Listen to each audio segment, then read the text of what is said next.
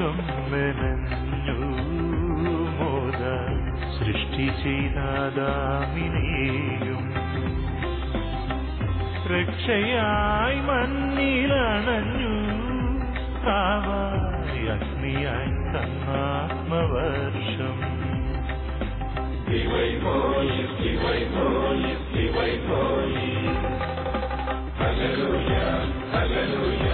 Hallelujah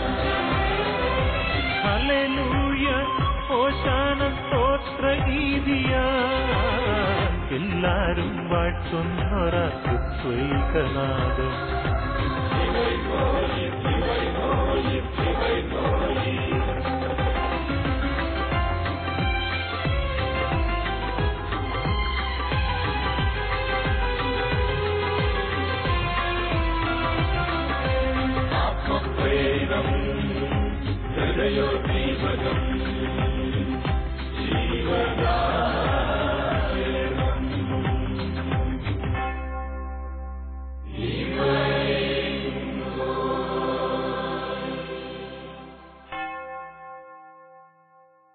മിശിയാൽ പ്രിയമുള്ളവരെ നമ്മൾ ഒരു വ്യക്തിയുടെ മരണശേഷമുള്ള ആത്മാവിന്റെ അവസ്ഥാന്തരങ്ങളെക്കുറിച്ചാണ് കഴിഞ്ഞ എപ്പിസോഡുകളിലൊക്കെ നമ്മൾ ധ്യാനിച്ചുകൊണ്ടിരുന്നത്. ഒത്തിരിയേറെ വാദപ്രതിവാദങ്ങൾക്കും അതുപോലെ തന്നെ ഒത്തിരിയേറെ തെറ്റായ സിദ്ധാന്തങ്ങൾ ഉരുവാകുന്നതിനും അതിനെ പിന്തുടരാൻ അനേകരിടയായിട്ടുള്ള ഒരു മേഖലയാണിത്. മരിച്ചുപോയവരുടെ ആത്മാക്കളെ സംബന്ധിക്കുന്ന ചില പഠനങ്ങൾ വഴിതെറ്റിപ്പോകുമ്പോൾ സഭയുടെ ചിന്തകൾ ദൈവവചനത്തിന്റെ ചിന്തകൾ സഭാ പാരമ്പര്യത്തിലുള്ള ആ വിശ്വാസധാരയിൽ നിന്നെല്ലാം അകന്നു പോവുകയാണ്. അങ്ങനെ മരിച്ചവർക്ക് വേണ്ടി പ്രാർത്ഥിക്കേണ്ടതില്ല എന്ന് പറയുന്നവരും അല്ലെങ്കിൽ പ്രാർത്ഥിച്ചിട്ട് കാര്യമില്ല കാരണം ശുദ്ധീകരണ സ്ഥലമില്ല എന്നൊക്കെ പറയുകയും അതുപോലെ തന്നെ നരകത്തിൽ നിവധിച്ചവരെ രക്ഷിക്കാൻ വേണ്ടിയുള്ള പരിശ്രമങ്ങൾ നടത്തുകയും ഒക്കെ ചെയ്യുന്നവരെയൊക്കെ നമുക്ക് ചുറ്റിലും നമുക്ക് കാണാൻ സാധിക്കും. ഈ അടുത്ത സമീപകാലത്ത് പോലും ഒരു സഹോദരി എന്റെ അടുത്ത് വന്ന് പറഞ്ഞത് ഇങ്ങനെയാണ്. ഭർത്താവ് മരിച്ചിട്ട് രണ്ട് വർഷമായി. രണ്ടാമത്തെ വർഷത്തെ വിശുദ്ധ അവരുടെ ഓർമ്മ ദിനത്തിൽ വിശുദ്ധ കുർബാന അർപ്പിക്കാൻ വേണ്ടി റസന്റെ അടുത്ത് അതിന്റെ കുർബാനയുടെ ഇന്റൻഷൻ കൊടുക്കാൻ വേണ്ടി പോയതാണ്. നിയോഗം കൊടുക്കാൻ വേണ്ടി ചെന്നപ്പോൾ അച്ഛൻ ചോദിച്ചു രണ്ടു വർഷമായില്ലേ? ആയി. മരിച്ചിട്ട് രണ്ടു വർഷമായില്ലേ? ആയി. അപ്പൊ ഇനി ഇനി കുർബാന ചൊല്ലിക്കേണ്ട കാര്യമൊന്നുമില്ല. പുള്ളി സ്വർഗത്തിൽ എത്തിക്കഴിഞ്ഞു എന്ന്. വാസ്തവത്തിൽ അത് വലിയ തെറ്റ് തന്നെയാണ്. അങ്ങനെയൊക്കെ ചിന്തിക്കുന്ന ഒരു ചിന്ത വൈദികരുടെ മനസ്സിൽ തന്നെ വരുന്നു എന്നുള്ളത് അങ്ങേയറ്റം ശോചനീയമായ ഒരു അവസ്ഥയാണ്. എനിക്കറിഞ്ഞുകൂടാ അദ്ദേഹം എന്തുകൊണ്ടാണ് അങ്ങനെ പറഞ്ഞതെന്നോ അങ്ങനെ ചിന്തിക്കാൻ ഇടയായത് എന്തുകൊണ്ടാണെന്ന് അറിയില്ല. പക്ഷെ ഒരു കാര്യം വ്യക്തമാണ്. മരിച്ചവർക്ക് വേണ്ടി നമ്മൾ അവരുടെ ഓർമ്മ ദിവസം മാത്രമല്ല സാധിക്കുമെങ്കിൽ എല്ലാ ദിവസവും അവർക്ക് വേണ്ടി പ്രാർത്ഥിക്കുന്ന ഒരു പ്രാർത്ഥനാ രീതി നമുക്കുണ്ടാകേണ്ടതുണ്ട്. നമ്മുടെ കുടുംബത്തിൽ നിന്ന് മാത്രം മരിച്ചുപോയ ഏതാനും ചിലർക്ക് വേണ്ടി മാത്രം അവരുടെ ഓർമ്മ ദിവസങ്ങളിൽ നമ്മൾ അർപ്പിക്കുന്ന വിശുദ്ധുർബാന കൊണ്ട് അവർക്ക് വേണ്ടിയുള്ള കടമകൾ നമ്മൾ അവസാനിപ്പിച്ചുകൂടാ എന്നാണ് പറഞ്ഞു വന്നതിന്റെ ചുരുക്കം. പിന്നെയോ മരിച്ചവർക്ക് വേണ്ടിയുള്ള നമ്മുടെ പ്രാർത്ഥനകൾ നിരന്തരമായിരിക്കണം. പ്രാർത്ഥിക്കാൻ ആരുമില്ലാത്ത അനേക ആയിരക്കണക്കിന് ലക്ഷക്കണക്കിനുള്ള ആത്മാക്കൾ ഉള്ളതുകൊണ്ട് അവർക്ക് വേണ്ടി പ്രാർത്ഥിക്കുന്ന വലിയൊരു പ്രേക്ഷിത സംഘം തന്നെ അല്ലെങ്കിൽ ഒരു വലിയ പ്രേക്ഷിത വേല തന്നെ നമ്മൾ ആരംഭിക്കേണ്ടതുണ്ട്. വാസ്തുവിൽ ഏറ്റവും അധികം അവഗണിച്ചു കിടക്കുന്ന അവഗണിക്കപ്പെട്ട് കിടക്കുന്ന ഒരു ഒരു വിശ്വാസികളുടെ സമൂഹമാണത്. നമ്മൾ ഓർക്കണം വിശ്വാസ സമൂഹം അല്ലെങ്കിൽ സഭ എന്ന് പറയുന്നത് നമ്മൾ ഇന്ന് കാണുന്ന ഒരു സഭ മാത്രമല്ല ഈ ഭൂമിയിൽ കാണുന്ന സഭയല്ല സഭയ്ക്ക് വേരുകളുണ്ട്. സഭ എന്ന് പറയുന്നത് വലിയൊരു വടവൃക്ഷം പോലെയാണ്. പലരും സഭയെ നശിപ്പിക്കാൻ ശ്രമിക്കുന്നുണ്ട്. പക്ഷേ സഭയെ നശിപ്പിക്കാൻ അങ്ങനെ പറ്റില്ല. കാരണം എന്നെയോ നിങ്ങളെയോ ഒക്കെ കൊല്ലാൻ പറ്റിയേക്കാം നശിപ്പിച്ചേക്കാൻ പറ്റിയേക്കാം. വൈദിക സമൂഹത്തെ താറടിച്ച് കാണിക്കാൻ ചിലപ്പോൾ പരിശ്രമിച്ചേക്കാം. അവിടെയൊക്കെ ഒത്തിരി കുറവുകളുണ്ട്. വൈദിക സമൂഹത്തിനോ സഭയ്ക്കൊക്കെ കുറവുകളൊക്കെ ഉണ്ട്. അതിന്റെ പേരിൽ സഭയെ നശിപ്പിച്ചേക്കാമെന്ന് ചില വ്യക്തികൾ ശ്രമിച്ചാലൊന്നും നശിപ്പിക്കാൻ സാധിക്കുന്നതല്ല സഭ എന്ന് പറയുന്നത്. കാരണം സഭ ഈ ഭൂമിയിൽ കാണുന്ന സഭ അത് ദൃശ്യസഭ മാത്രമാണ്. അദൃശ്യമായ ഈ സഭയിൽ രണ്ട് രണ്ട് മേഖലകൾ കൂടെയുണ്ട്. ഒന്നത് സ്വർഗീയ സഭയാണ് രണ്ട് സഹന സഭ എന്നറിയപ്പെടുന്ന ശുദ്ധീകരണ സ്ഥലത്തിലെ ആത്മാക്കളുടെ സമൂഹം അത് സഭയുടെ ഭാഗമാണ്. തീർത്ഥാടന സഭ അല്ലെങ്കിൽ സമരസഭ എന്നറിയപ്പെടുന്ന ഈ ഭൂമിയിലെ സഭ ആ സഭയെ മാത്രമാണ് നമ്മൾ കണ്ണുകൊണ്ട് ഇവിടെ കാണുന്ന അല്ലെങ്കിൽ നമ്മൾ കേൾക്കുന്ന ഈ സഭ. സഭയുടെ നേതാവാണ് മാർപ്പാപ്പ. സഭയെ നയിക്കുന്ന വിവിധങ്ങളായ മേഖലകളെ നയിക്കുന്നത് മാർപ്പാപ്പയാണ്. ഇങ്ങനെയുള്ള ഈ സഭയുടെ ഒരു കെട്ടുറപ്പുണ്ട്. ദൈവം സ്ഥാപിച്ച സഭയുടെ ഒരു നേതൃ നേതൃഘടനയുണ്ട് അതങ്ങനെ വരൂ. പത്രോസെ നീ പാറയാകുന്നു. ഈ പാറമേൽ ഞാൻ എന്റെ സഭയെ പണിയും എന്ന് പറഞ്ഞ യേശുവിന്റെ വചനത്തിലൂടെ സ്ഥാപിതമായിരിക്കുന്ന സഭയാണിത്. ഇതിന് ഇതിനു മുൻപ് മരിച്ചുപോയവരുടെ ഒരു കൂട്ടായ്മയുണ്ട്. അല്ലാതെ ജീവിച്ചിരിക്കുന്നവർ മാത്രം ഉള്ളതല്ല സഭയെന്ന് പറയുന്നത്. സഭയ്ക്ക് വേരുണ്ട് എന്ന് പറയുന്നത് കാരണം അതുമാണ് മരിച്ചുപോയവരുടെ കൂട്ടായ്മയുണ്ട്. മരിച്ചുപോയവരിൽ തന്നെ സ്വർഗത്തിലേക്ക് എത്താനായിട്ട് യോഗ്യത നേടാൻ നേടാൻ പറ്റാതെ വരികയും എന്നാൽ സ്വർഗത്തിലേക്ക് പ്രവേശിക്കാനായിട്ടുള്ള ആ സഹനത്തിന്റെയും ശിക്ഷണത്തിന്റെയും ശുദ്ധീകരണത്തിന്റെയും പാതയിലൂടെ കടക്കുന്ന ആത്മാക്കൾ ശുദ്ധീകരണാത്മാക്കൾ ഉണ്ട്. അത് സഹനസഭയാണ്. ആ സഭ ഇന്നും അവരെ സഹായിക്കാൻ ഭൂമിയിലുള്ള സഭയ്ക്ക് ഉത്തരവാദിത്വമുണ്ട്. വിജയസഭ എന്ന് പറയുന്നത് സ്വർഗീയ സഭയാണ്. അത് സ്വർഗീയ സഭ വിജയം വരിച്ചവരാണ് സ്വർഗ കിരീടമണിഞ്ഞവരാണ് സമ്മാനിതരായ സമ്മാനം ലഭിച്ചവരാണ് അവർ അവർ ഭൂമിയിലുള്ളവരെ സഹായിക്കുന്നു.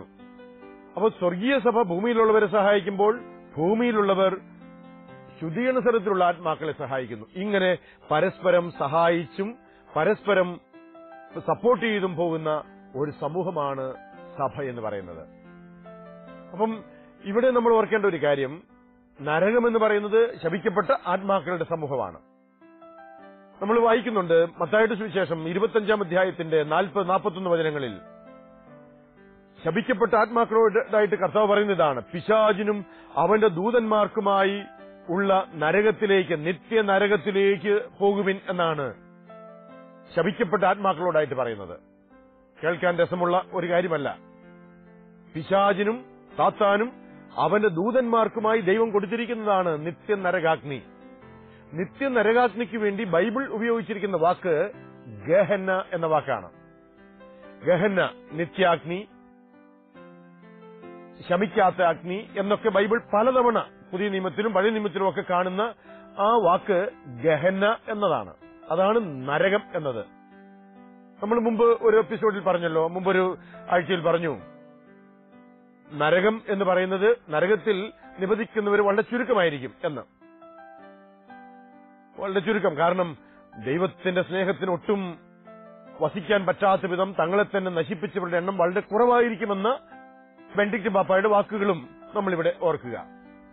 അപ്പോൾ ഗഹന എന്ന ആ നരകം നരകത്തിൽ നിബന്ധിച്ചവരെ രക്ഷിക്കാൻ പറ്റുമോ?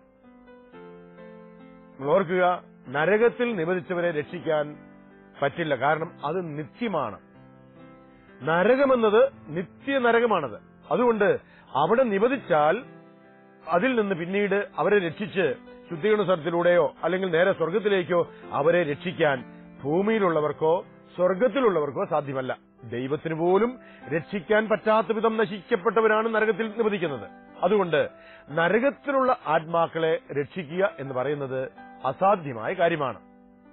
രക്ഷ എന്ന് പറയുന്നത് ദൈവം ഈ ഭൂമിയിൽ മനുഷ്യന് നൽകുന്ന സാധ്യതയാണ്. രക്ഷ പ്രാപിക്കാനും ആ രക്ഷയിലൂടെ സ്വർഗത്തിൽ എത്തിച്ചേരാനുമാണ് ദൈവം ആഗ്രഹിക്കുന്നത് ദൈവം തീരുമാനിച്ചായിരിക്കുന്നത് അതാണ്. പക്ഷേ മുമ്പ് പറഞ്ഞതുപോലെ മരണനേരത്തിൽ അല്ലെങ്കിൽ മരിക്കുന്ന സമയത്ത് ലാസ്റ്റ് മൊമെന്റ് വരെ അവസാന നിമിഷം വരെ ദൈവം നൽകുന്ന സാധ്യതയുണ്ട്. അതിനെയും തിരസ്കരിക്കുന്ന ഒരു വ്യക്തിക്ക് എങ്ങനെയാണ് സ്വർഗം ലഭിക്കും എന്ന് ചിന്തിക്കാൻ പറ്റുന്നത്? ഈ ഭൂമിയിൽ ദൈവം ജീവിക്കാൻ അവസരം തന്ന് അവസാന നിമിഷം വരെയും രക്ഷയ്ക്കുള്ള വഴികളെ തന്നിട്ട് അതിനെയും പരിത്യജിക്കുന്ന നിരാകരിക്കുന്ന ഒരു വ്യക്തിയുടെ ആത്മാവ് ദൌർഭാഗ്യവശാൽ നിബന്ധിക്കുന്ന അനുഭവമാണ് നരകം. അപ്പൊ അങ്ങനെയുള്ളവരെ രക്ഷിക്കാൻ വേണ്ടി നമ്മൾ ആരും പരിശ്രമിക്കേണ്ടതില്ല. അതിനുവേണ്ടി പ്രാർത്ഥിച്ചുകൊണ്ട് കാര്യമില്ല. പക്ഷെ നമുക്ക് അറിഞ്ഞുകൂടാ ഒരു മരിച്ചുപോയ ഒരു വ്യക്തി നരകത്തിലാണോ എന്ന് നമുക്ക് അറിഞ്ഞുകൂടാ ഒരുപക്ഷെ നമ്മുടെ കണ്ണുകൾ കൊണ്ട് കണ്ടപ്പോൾ നമ്മൾ കണ്ട ഒരു വ്യക്തി ഭയങ്കരമായ പാപത്തിൽ ജീവിച്ചു. മരണം വരെയും അന്ത്യകുദാശകൾ സ്വീകരിച്ചില്ല. അല്ലെങ്കിൽ കൂദാശകൾ സ്വീകരിച്ചില്ല പള്ളിയിൽ പോകാറില്ല ദൈവത്തോട് അകലത്തിലായിരുന്നു ജീവിച്ചത് എന്നൊക്കെ നമ്മൾ തിരിച്ചറിയുന്ന ഒരു വ്യക്തി നരകത്തിലായിരിക്കുമെന്ന് വിചാരിച്ച് അവർക്ക് വേണ്ടി പ്രാർത്ഥിക്കാതിരിക്കരുത്. കാരണം നമുക്കറിഞ്ഞുകൂടാ അവർ നരകത്തിലാണോ എന്ന്. കാരണം ദൈവത്തിന്റെ അനന്ത കാരുണ്യവും ആ വ്യക്തിയുടെ മരിക്കുന്ന സമയത്തെ ആത്മാവിന്റെ അവസ്ഥയും നമുക്കറിയാത്തതുകൊണ്ട്. അതുകൊണ്ട് നമ്മൾ ചെയ്യേണ്ടതെന്നറിയാമോ നരകത്തിലാണോ എന്ന് സംശയമുണ്ടെന്ന് കരുതി പ്രാർത്ഥന നിർത്തരുത്. പിന്നെയോ അങ്ങനെയുള്ളവർക്ക് വേണ്ടിയും തുടർന്ന് പ്രാർത്ഥിക്കുക. ശുദ്ധീകരണ സ്ഥലത്തുള്ള ആത്മാക്കൾക്ക് വേണ്ടി തീർച്ചയായും പ്രാർത്ഥിക്കണം. കാരണം അവർക്ക് വേണ്ടി പ്രാർത്ഥിക്കാൻ നമുക്ക് ധർമ്മമുണ്ട് കടമയും ഉണ്ട്. നമ്മൾ മാത്രമാണ് നമുക്ക് മാത്രമാണ് അവരെ സഹായിക്കാൻ സാധിക്കുക. അപ്പൊ അവർക്ക് വേണ്ടി നമ്മൾ പ്രാർത്ഥിക്കണം. നരകത്തിലുള്ള ഒരു വ്യക്തിയാണ് അബദ്ധത്തിൽ നമുക്ക് അറിഞ്ഞുകൂടെങ്കിൽ അവർക്ക് വേണ്ടി പ്രാർത്ഥിച്ചുകൊണ്ടിരുന്നു. പക്ഷെ ആ പ്രാർത്ഥന വിഫലമാകുമോ? നമ്മൾ അവർക്ക് വേണ്ടി ബലികൾ അർപ്പിച്ചു ആ ബലികൾ വിഫലമാകുമോ? ഒരിക്കലും വിഫലമാകില്ല. പിന്നെയോ നമ്മൾ അർപ്പിച്ച ബലികളുടെയും നമ്മൾ അർപ്പിച്ച പ്രാർത്ഥനകളുടെയും ത്യാഗത്തിന്റെയും ഒക്കെ ഫലങ്ങൾ അതിന്റെ യോഗ്യതകൾ പരിശുദ്ധ അമ്മ അത് സമാഹരിച്ച് ശുദ്ധീകരണ സ്ഥലത്തിൽ ഏറ്റവും ആവശ്യമായിട്ടുള്ള ആത്മാക്കൾക്ക് വേണ്ടി ഉപയോഗിക്കും എന്നുള്ളതാണ് സത്യം. ഇത് വിശുദ്ധാത്മാക്കളൊക്കെ നമുക്ക് പറഞ്ഞു തരുന്ന സത്യമാണ് ഞാൻ ഈ പറയുന്നത്. അപ്പം നരകത്തിൽ നിബന്ധിച്ച ഒരാത്മാവിന് വേണ്ടിയാണ് നമ്മൾ അവർക്ക് വേണ്ടിയാണ് പ്രാർത്ഥിക്കുന്നതെങ്കിലും അവരുടെ വേണ്ടിയുള്ള പ്രാർത്ഥനകളുടെ യോഗ്യതകൾ പരിശുദ്ധി അമ്മയും വിശുദ്ധരുടെ യോഗ്യതകളോട് ചേർത്ത് അത് ശുദ്ധീകരണ സ്ഥലത്തിൽ ഏറ്റവും ആവശ്യമായിരിക്കുന്ന ആത്മാക്കൾക്ക് വേണ്ടി സമർപ്പിച്ചുകൊള്ളും. അപ്പൊ അതുകൊണ്ട് അതിനെക്കുറിച്ച് ആരും ഭയപ്പെടേണ്ടതില്ല. ഇനി സ്വർഗത്തിൽ ഓൾറെഡി ഇതിനോടകം പ്രവേശിച്ച ഒരാത്മാവിന് വേണ്ടിയാണ് നമ്മളിപ്പോൾ പ്രാർത്ഥിക്കുന്നതെന്ന് കരുതുക. ആ ആത്മാവിന് വേണ്ടിയുള്ള പ്രാർത്ഥന ഒരിക്കലും വിഫലമാകുന്നില്ല. ആ പ്രാർത്ഥന അല്ലെങ്കിൽ ഒരു ഫലവും ലഭിക്കാതെ പോകുന്നില്ല. സ്വർഗത്തിൽ പോയ ഒരാത്മാവാണെങ്കിലും ആ ആത്മാവിന് വേണ്ടി നമ്മൾ അർപ്പിച്ച ബലികളോ നമ്മൾ അർപ്പിച്ച പ്രാർത്ഥനകളും ഒക്കെ അതിന്റെ യോഗ്യതകൾ പരിശുദ്ധിയമ്മ സ്വീകരിച്ച് ശുദ്ധീകരണ സ്ഥലത്തിൽ ഏറ്റവും ആവശ്യമായിരിക്കുന്ന ആത്മാക്കൾക്ക് വേണ്ടി സമർപ്പിച്ചുകൊള്ളും. അതുകൊണ്ട് ചുരുക്കത്തിൽ പറഞ്ഞാൽ സ്വർഗത്തിലോ നരകത്തിലോ ഉള്ള ആത്മാക്കൾക്ക് പ്രാർത്ഥനയുടെ ആവശ്യമില്ല. സ്വർഗത്തിൽ പോയ ഒരു ആത്മാവിന് പ്രാർത്ഥനയുടെ ആവശ്യമില്ല. രണ്ട് നരകത്തിൽ പോയ ആത്മാവിന് പ്രാർത്ഥന കൊണ്ട് വിശേഷമില്ല. എന്നാൽ പ്രാർത്ഥന ആവശ്യമുള്ളത് ശുദ്ധീകരണ സ്ഥലത്തിലുള്ള ആത്മാക്കൾക്ക് വേണ്ടിയാണ്. ആ ആത്മാക്കൾക്കാകട്ടെ അത് നമ്മുടെ എല്ലാ പ്രാർത്ഥനകളും മരിച്ചവർക്ക് വേണ്ടിയുള്ള പ്രാർത്ഥനകൾ ശുദ്ധീകരണ സ്ഥലത്തിലെ ആത്മാക്കൾക്ക് പ്രത്യേകമായി ഉപകരിച്ചുകൊള്ളും എന്ന് നമ്മൾ അറിഞ്ഞിരിക്കുക. ശുദ്ധീകരണ സ്ഥലത്തിലെ ആത്മാക്കൾക്ക് വേണ്ടി നമ്മൾ പ്രാർത്ഥിക്കുമ്പോൾ നമ്മൾ ഓർക്കുക നരകം നരകത്തിലുള്ള ആത്മാക്കളെ നിത്യനരകത്തിൽ നിത്യനാശത്തിൽ നിബന്ധിച്ച ആത്മാക്കളുടെ മോചനത്തിനു വേണ്ടി പ്രാർത്ഥിക്കുന്ന ചില സംഘങ്ങളുണ്ട് സമൂഹങ്ങളുണ്ട്. കേരളത്തിൽ തന്നെ സജീവമാണ്. അത് കത്തോലിക്ക സഭ.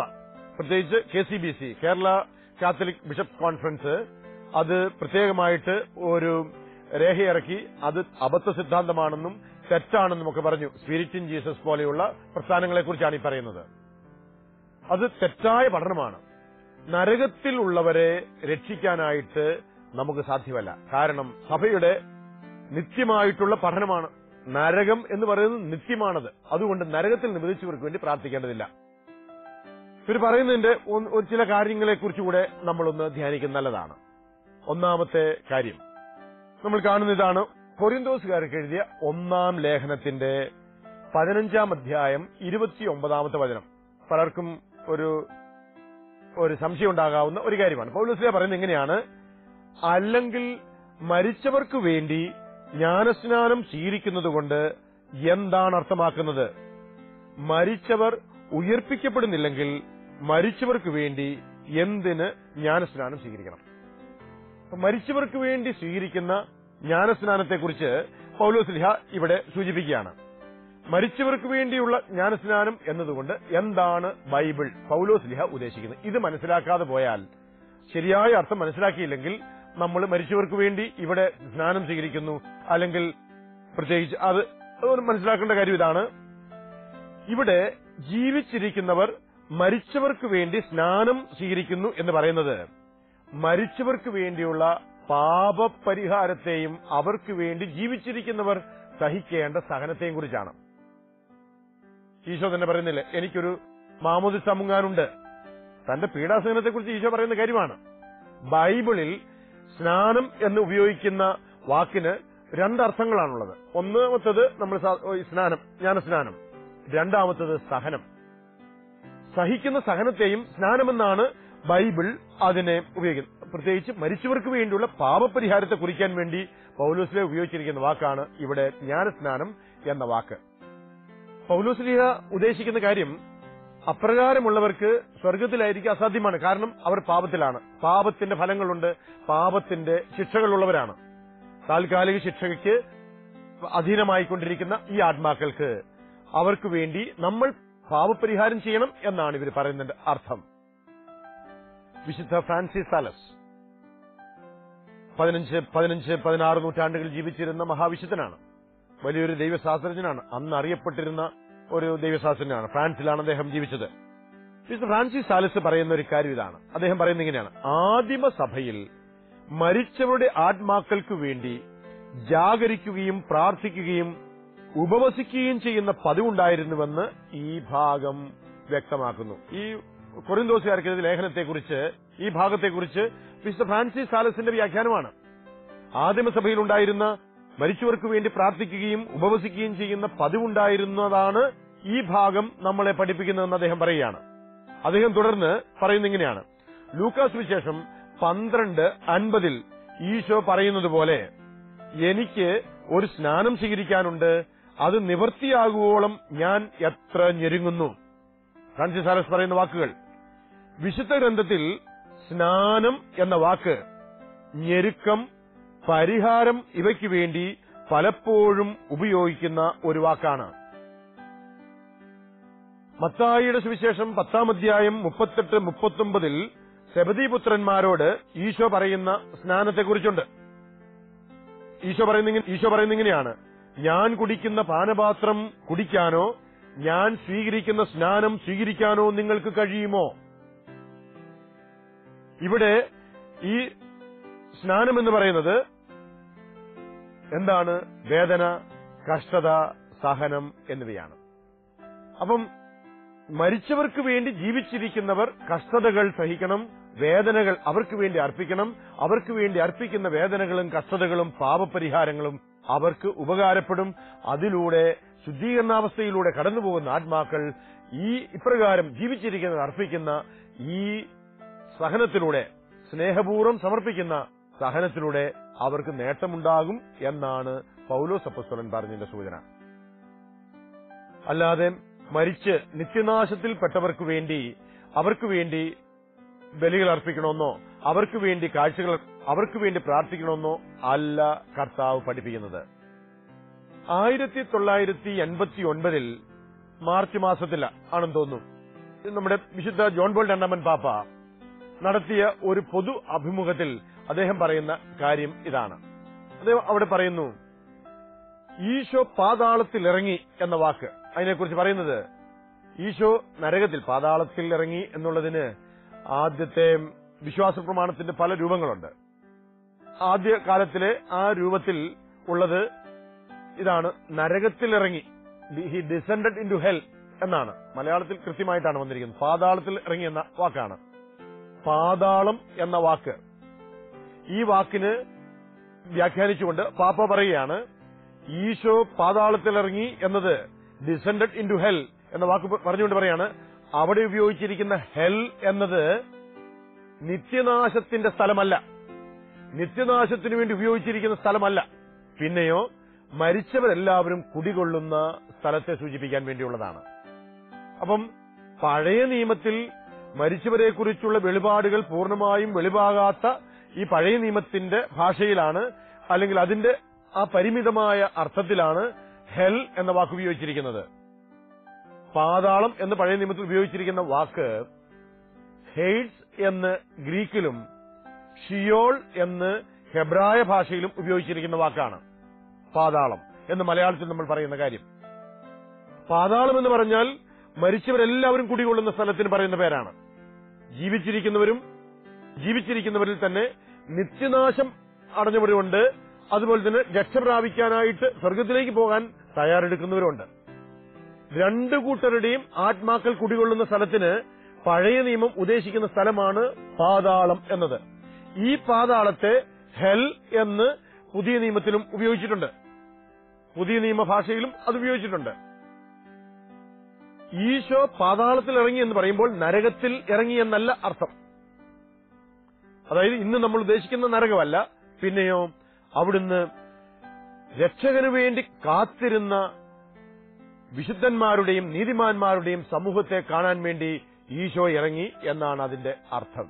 വിശുദ്ധ ജോൺ ബോൾ പാപ്പ തന്നെ ഒരു അഭിമുഖത്തിൽ മറ്റൊരു അഭിമുഖത്തിൽ അദ്ദേഹം കൃത്യമായിട്ട് പറയുന്ന ഒരു കാര്യം ഇതുതന്നെയാണ് അവിടുന്ന് പാതാളത്തിലിറങ്ങി എന്ന് പറയുമ്പോൾ യേശുവിന്റെ രക്ഷയുടെ സമഗ്രമാനത്തെ അത് സൂചിപ്പിക്കുകയാണ്.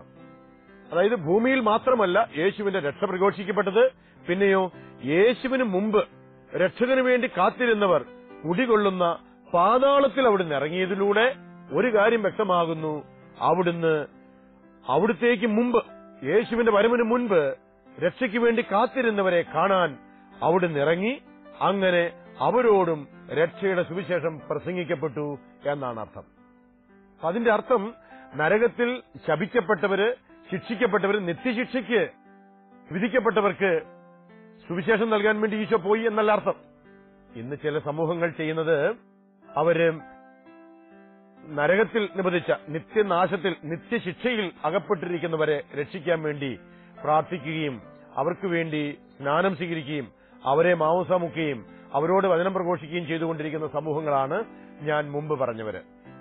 അത് തെറ്റായ പഠനവുമാണ് എന്ന് മനസ്സിലാക്കുക. അപ്പോൾ വിശുദ്ധ പൗലോസ് അപ്പസ്തോലൻ പറയുന്ന വാക്കുകൾ തുടർന്ന് കേൾക്കുക. ഈ കൊറിന്തോസുകാർക്ക് ലേഖനത്തിൽ മരിച്ചവർക്ക് വേണ്ടി സ്വീകരിക്കേണ്ട സ്നാനത്തെക്കുറിച്ച് ജ്ഞാനസ്നാനത്തെക്കുറിച്ച് ജീവിച്ചിരിക്കുന്നവർ സ്വീകരിക്കേണ്ടതിനെക്കുറിച്ച് പറഞ്ഞിട്ട് അതിന് തൊട്ട് ശേഷം പൗലോസിനെ പറയുന്നത് കേട്ടുകഴിഞ്ഞാൽ നമുക്ക് വ്യക്തമാകും. പൗലോസ് പറയുന്ന പറയുന്നത് ഇങ്ങനെയാണ്. ഞങ്ങൾ തന്നെയും എന്തിന് സദാസമയവും അപകടത്തെ അഭിമുഖീകരിക്കണം. ഞാൻ പ്രതിദിനം മരിച്ചുകൊണ്ടിരിക്കുന്നു എന്നുള്ള വാക്കുകളാണ്. പതിനഞ്ചാമത്തെ അധ്യായത്തിന്റെ മുപ്പത് മുപ്പത്തൊന്ന് മുപ്പത്തിരണ്ട് ഈ വചനങ്ങളിലൂടെ പൗലോസ്ലിഹ പറയുന്നത്. അപ്പം മരിച്ചവർക്ക് വേണ്ടി ജീവിച്ചിരിക്കുന്നവർ സഹിക്കേണ്ട കഷ്ടതകൾ സഹനങ്ങൾ ഇതിനെക്കുറിച്ചാണ് പൗലോസ് അപ്പസ്തോലൻ പറയുന്നത് എന്നോർക്കുക. നമ്മൾ ഓർക്കേണ്ട കാര്യം ഇതാണ്. ജീവിച്ചിരിക്കുന്നവർക്ക് മരിച്ചവർക്ക് വേണ്ടി സഹിക്കാൻ പറ്റുമോ? അത് വലിയ സ്നേഹത്തോടെ സഹിച്ചാൽ മരിച്ചവർക്ക് ശുദ്ധീകരണ സ്ഥലത്തിലുള്ളവരുടെ സഹനങ്ങൾ കുറയുന്നു അല്ലെങ്കിൽ അവർക്ക് മോചനം ലഭിക്കുന്നു. ഇത് വലിയൊരു രഹസ്യമാണ്. ഇതിന്റെ ആഴങ്ങളെക്കുറിച്ച് നമുക്ക് വരുന്ന ആഴ്ചകളിൽ നമുക്ക് കാണാൻ ശ്രമിക്കാം. മരിച്ചവർക്ക് വേണ്ടി ജീവിച്ചിരിക്കുന്നവർ അർപ്പിക്കുന്ന സഹനങ്ങളുടെ വില എന്തെന്ന് നമുക്ക് തുടർന്നുള്ള ആഴ്ചകളിൽ നമുക്ക് കാണാൻ ശ്രമിക്കാം. നമുക്കൊന്ന് പ്രാർത്ഥിക്കാം. നല്ലവനായ ദൈവമേ ആരും നശിച്ചു പോകാതെ എല്ലാവരും രക്ഷപ്രാപിക്കണമെന്ന് അവിടുന്ന് ആഗ്രഹിക്കുന്നുവല്ലോ. ഒരുവൻ പോലും നശിച്ചു പോകാതിരിക്കാൻ തന്റെ ഏകജാതിന് ഈ ലോകത്തിലേക്ക് അയച്ച പിതാവേ മരിച്ചുപോയവർക്ക് വേണ്ടി പ്രാർത്ഥിക്കാനും ശുദ്ധീകരണ സ്ഥലത്തിലായിരിക്കുന്ന ആത്മാക്കൾക്ക് അവരുടെ സഹന കാലഘട്ടത്തെ കുറയ്ക്കുവാൻ തക്കവിധം ജീവിച്ചിരിക്കുന്ന ഞങ്ങൾ സ്നാനം സ്വീകരിക്കാൻ അവർക്ക് വേണ്ടി പരിഹാരങ്ങൾ അർപ്പിക്കാൻ കഷ്ടതകളും സഹനങ്ങളും സഹിച്ച് അവരെ സ്വർഗത്തിലെത്തിക്കുന്നത് ഉറപ്പിക്കാൻ ഞങ്ങൾക്ക് വിശ്വാസ ദൃഢത നൽകണമേ. ആമേൻ. മഹിയിൽ വന്നു പിറന്നൊരു നാദം കുരിശിൽ രക്ഷയൊരുക്കിയ നാദം മരണം പോലും ഭയന്നൊരു നാദം കരുണാമാരി ചൊരിഞ്ഞൊരു നാദം. ഒഴുകി ഒഴുകി ധരയിൽ നീല നീലെ മനുജ ഹൃദയം തേടി തേടി നിരതം. ഫലം നൽകാൻ തുടികൊള്ളും വചന ശബ്ദം ജീവശബ്ദം സ്നേഹശബ്ദം ദൈവശബ്ദം. ഹൃദയോദ്ദീപകം ജീവകാ.